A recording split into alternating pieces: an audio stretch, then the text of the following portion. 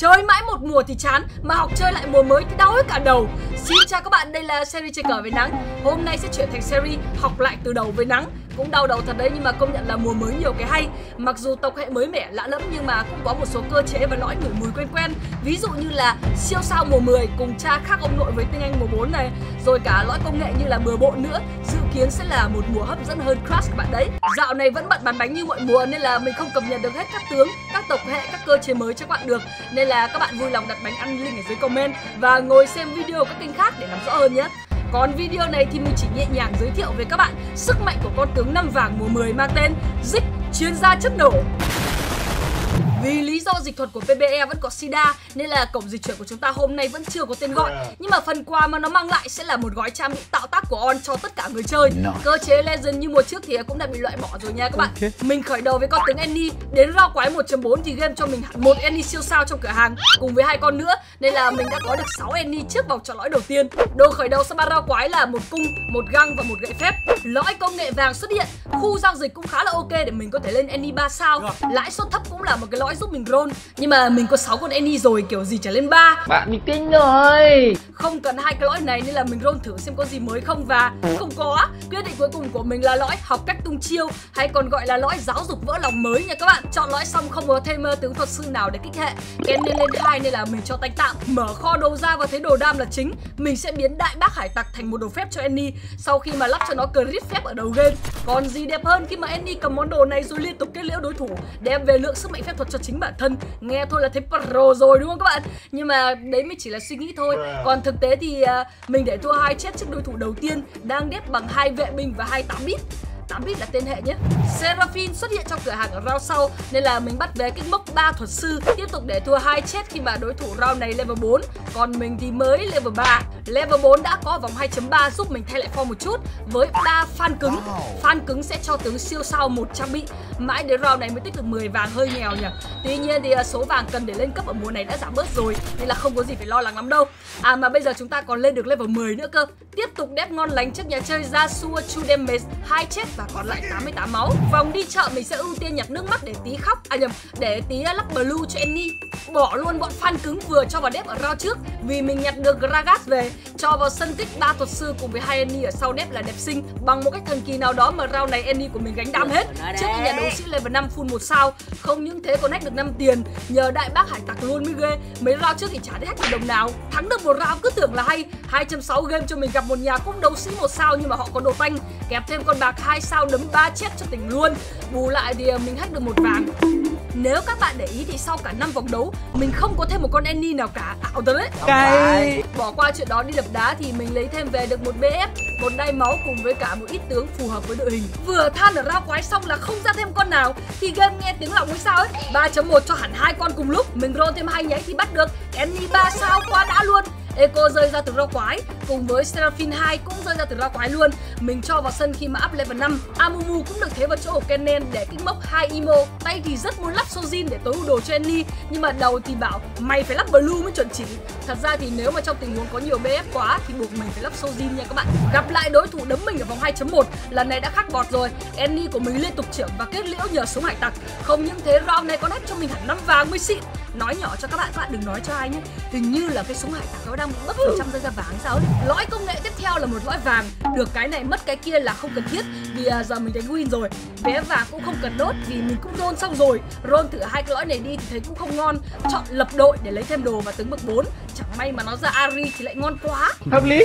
Chọn lõi xong thì nó rơi ra cho mình quyền trượng thánh quang cũng khá là ok. Hai tướng bậc 4 thì chỉ có akali là dùng tạm tạm nhưng mà mình cũng chưa cho vào sân để mà lên level 6 bắt nico kích hậu vệ. Gặp một đối thủ chơi reroll Zinix hệ punk đã có 3 sao nhưng mà chưa có đồ. Annie của mình à, vẫn lo được nhưng mà lần này không hack được thêm vàng nào. Bán luôn Z để tích 40 tiền. Ừ. Thần tài đến Level 6 xuất hiện hẳn một lúc hai con Ari Còn gì tuyệt vời hơn khi mà đang thiếu KDA Mà nó lại ra cho mình đúng con cần thiết cho em nó vào sân thay Gragas để kích 3 KDA úp cho cả team. Gặp nhà chơi Disco ở round này đang ghép bằng Nami, Andy 3 của mình rõ ràng là mạnh hơn nên là không có gì bàn cãi về chiến thắng thứ ba đúng không?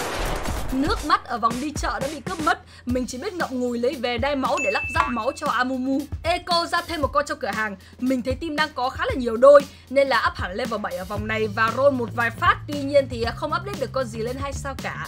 Nên là thôi, dừng lại ở 20 tiền. Gặp một nhà cũng đang level 7 và cũng đang đép bằng thuật sư, Nhưng mà lại cho đồ bạc. Áp đảo hơn về chất lượng tướng cũng như là đồ. Mình dễ dàng có được chiến thắng thứ tư để cháy lên. Đối thủ đấm mình với con bạc hai ở đầu game. Giờ cũng chỉ lên cấp mà không update quá nhiều Gặp bài mình tắt điện luôn khỏi cháy nữa năm con sói hư hỏng trả cho mình thêm một ít tiền Một giáp, một đai máu và một đếm Vậy là không có nước mắt thật sao? Vậy là phải lắp Sojin cho Annie thật à? Tối ưu nốt diệt cho Ari và dắp lửa cho Nico nốt đi. Up luôn level 8 để cho vào sân Lulu và Gragas kích mốc 7 thuật sư. Gặp thêm một ông chơi punk nhưng mà đánh bằng twist. Tầm này tanh 2 sao mà đam cũng 2 sao Thì không thể chịu nổi đam của bài thuật sư này. Mình có chuỗi tháng 6 Ra gì đấy. Vậy là game có ba lõi vàng. Những người bạn nhỏ thì thôi Vì à, bài mình chưa quá nhiều tướng 4 năm tiền dùng được. Ba cây trụ lại thì à, tạm chấp nhận. Đốt năng lượng cũng không quá ok Khi mà mình phải xếp tướng trong các OKDA Roll cả ba để tìm lõi mạnh hơn thì thấy có. Hy sinh khá là ok vì team mình cũng đang thiếu hồi phục. Vì đang có rất là nhiều đôi nào là Eco, Agri, Nico, Gragas Nên là mình muốn roll cạn để lên 2 sao tiếp tục đánh thắng. Thế mà roll xuống còn 10 tiền không ra được con nào lên 2 sao Chỉ thêm đôi Amumu. Vâng, đối thủ mình gặp với con bài Pocky vẫn rất chiến Tự tin lên 9 Ngoài lên cấp ra thì ông này không có update Không cắt được chuỗi của mình. Sao mà đỡ được? Amumu tự lên 2 vào 4.3 Mình muốn roll tiếp để bắt thêm 2 sao mới ổn định được Roll xuống còn 10 tiền thì thêm được Ari 2 Ôi đồn rồi đấy. Gặp một ông cũng đánh thuật sư nhưng mà đam bằng Ari. Carry chưa đủ đồ nên là đam là không có. Blitz rank 2 sao cũng không thể cứu được ông này khỏi thất bại ừ. Đi chợ nhặt thêm cung để lắp giao điện vì bài mình chưa có giảm kháng phép. Linh cảm bài sẽ lên được 2 sao nên là mình roll một cái. Đấy bảo mà. Eco và Nico đều được update quá đã. Lên 2 sao thì hay đấy nhưng mà thắng ở round này thì à, không thể. Vì ông này có con da xua khôn lỏi quá. Chém chết Nico của team mình sao luồn ra sau giết nốt Lulu.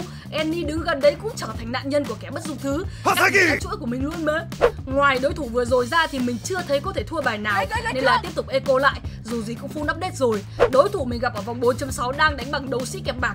Bài trông ờ, nhiều tanh nhưng mà đam thì không có là bao. Với cả bài mình cũng có diệt nữa nên là easy win lại. Ba mảnh đồ cuối cùng săn được Raw Chim Mình lắp thêm được giao điện cho Lulu và vô cực cho Ari. 5.1 mình đối đầu với bài đồng quê Samira. Nhưng mà chưa thấy đam ở đâu. Bài vẫn còn nhiều một sao nên là không thể thắng được bài đấu. Có hai lõi đánh nhau mạnh như mình. 5.2 mình được game ưu ái cho gặp nhà thuật sư nhưng mà chỉ là cái bóng. Họ cũng update đủ đam và tanh cho carry Nên là mình may mắn thắng được đúng một chết. Đối đầu với bài mình ở vòng này là một ông chơi reroll Zinix Punk. Bài này càng roll càng mạnh nên là ông này cứ thấy rác vàng gần hết tướng trong đội hình. Đam là đủ tanh cũng trâu Dễ dàng hạ gục team mình. Mình để thua round này và số máu còn lại là 61 oh, no. Đi chợ mình nhặt thêm một đồ tanh là trái tim kiên định cho Amumu. Lên luôn level 9 sau khi cướp dần kinh nghiệm ở những round trước Cho Garen vào sân kích vệ binh Tiếp tục giữ lại 30 tiền lên 10 Gặp một nhà chơi băng nhưng mà đánh bằng twist Chắc là do chơi chung bài nên là ông này không thể roll nhiều 3 sao bằng ông kia được. Tanh chỉ 12 sao nên là không thể trụ lâu cho twist gây đam. Mình có được chiến thắng để giữ lại máu. Sona xuất hiện. Mình cho nó vào sân thay Gragas. Chọn cho nó skill tăng AP cho team. Sona có 3 skill nha. Gặp lại bài đồng quê lúc nãy thua mình. Giờ họ level 9 update thêm Ilaoi 5 tiền 2 sao. Nhưng mà cũng chưa trả thù mình được, được. Bán tạm giết đi tích 50 tiền. Săn rồng ngàn tuổi mình lấy thêm về một mũ thích nghi cho Sona bình tĩnh chiêu chiêu lên cấp vì máu vẫn còn ổn. Mình sẽ làm một con 5 tiền 3 sao cho mãn nhãn ở trận này. Xếp lại đội một chút. Và sự góp mặt của Sona đã giúp team mình nhiều đam hơn trong việc kết liễu các tường phăng của ông này. Mình thắng vỏn vẹn chỉ có một chết lúc nãy thua ông Zinix thắng ông Trix. Thì sau một vòng đấu mới mình lại thắng ông Zinix thua ông Trix ở vòng này. Ủa gì vậy? Bảo rồi bỏ đi Eco để tích tiền cho lại Gragas vào sân cùng với Ilaoi mình bắt được trước đấy. Kích hai đấu sĩ với cả có xúc tua của Ilaoi thêm tanh. Mãi đánh nhau mà quên để ý là top 4 đã có chủ rồi. Round này mình đối đầu với nhà gia xua khác bọt hơn một chút là lần này mình đã giết được gia xua nhà bạn sau khi xếp bài. Tuy nhiên Kai năm vàng cầm ấn chu damage vẫn làm hết phần còn lại để giành chiến thắng. Cho đi chợ vòng sau chấm mình lấy về blue cho Ari là đẹp nhất trong các món đồ ở đây up luôn level 10 với 40 tiền thừa. Sau đó roll để tìm hai sao.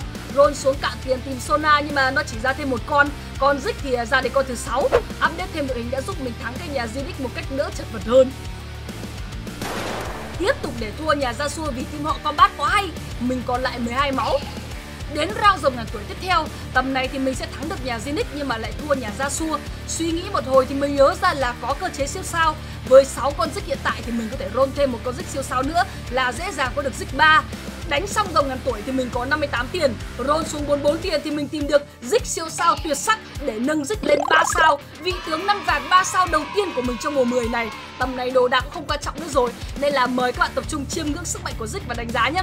Đừng quên đây chỉ là bản PBE Sau 2 tuần ra mắt bản chính thì sẽ có những update để búp hoặc là nớp Nên là các bạn cứ yên tâm nha. Round này mình gặp bóng nên là không có gì để nói cả. Mời các bạn chiêm ngưỡng combat ở vòng 7.2 Giúp mình sấp đôi cả hai ông giành lấy top 1 ngạo nghễ nhé trong thời gian này thì mình sẽ giải thích sơ qua một chút về cơ chế siêu sao cho ai chưa biết. Còn biết rồi thì nghe cho vui nhé. Siêu sao sẽ giống hệt tinh anh ở mùa trước. Khi mà bạn mua tướng siêu sao thì à, nó sẽ lên hai sao luôn Và tính mốc 2 cho hệ siêu sao mà bạn tích vào. Ví dụ như ở đây mình mua siêu sao dích, hệ tuyệt sắc thì à, nó sẽ tính mốc 2 cho hệ đó. Mỗi đội hình chỉ sở hữu một siêu sao. Nếu mà các bạn muốn dùng siêu sao khác thì bắt buộc phải bán đi siêu sao đang có trong đội hình. Nãy mình bán Annie để mua dích đấy nếu bạn chưa có bất kỳ tướng siêu sao nào trên sân thì mỗi lần cửa hàng được làm mới đều sẽ có một tướng siêu sao xuất hiện ở ô thứ 5 cho các bạn lựa chọn. Nếu như các bạn đã có siêu sao trong đội hình thì mỗi lần cửa hàng làm mới, siêu sao sẽ xuất hiện ở ô thứ 5. Cảm ơn các bạn đã xem. Đừng quên like video, ấn theo dõi kênh, bật chuông thông báo và đừng quên là mình bán bánh link ở phía dưới comment và mình livestream vào lúc 19 giờ 30 nhé. Chúc các bạn lên vui vẻ. Bye bye. Khá đấy là cố luôn sợ nhỉ.